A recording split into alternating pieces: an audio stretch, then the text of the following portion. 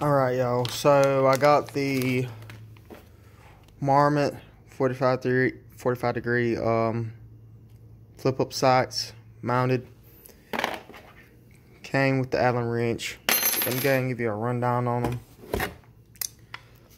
Um, so here they are. The things I like about it. First off, budget. Cost 26 bucks on um Amazon. Two, they seem well made, even though they came from China. It's not they're made out of aluminum. Don't seem like they'll uh, come off. And three, you really have to press down to get them to pop up.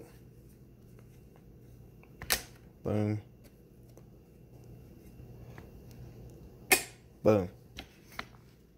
Uh, you can adjust each one. I think this one right here is for windage. The other one's for elevation. You can adjust them. You can also flip it up small peep sight or the larger one. Uh, but like I said budget friendly 26 bucks well made. And you have to close you have to uh, squeeze as well to uh, close them which I really like that. And as you can see they're not hitting anything they're not touching anything even when you flip it down like that there. Came on pretty flush.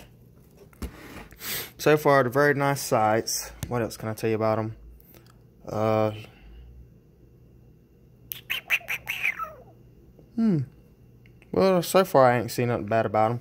The only thing I don't like is how this is not sitting flush, which it could be my fault. I'm thinking it is. I'll change it if I want to. But they're on pretty good. I'm sound they're bumping around.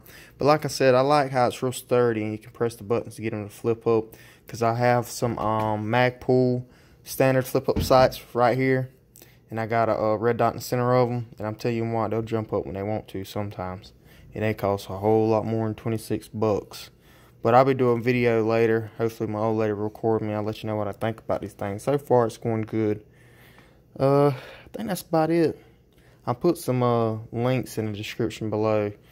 I'll uh, seen the links for these um these uh marmot sights and uh, the video when I'm shooting it later I'll um I'll put the link in I'll put a link in the uh, later video for the rifle the sights the magazines and the place where I bought the gun from. Other than that y'all stay tuned for the next vid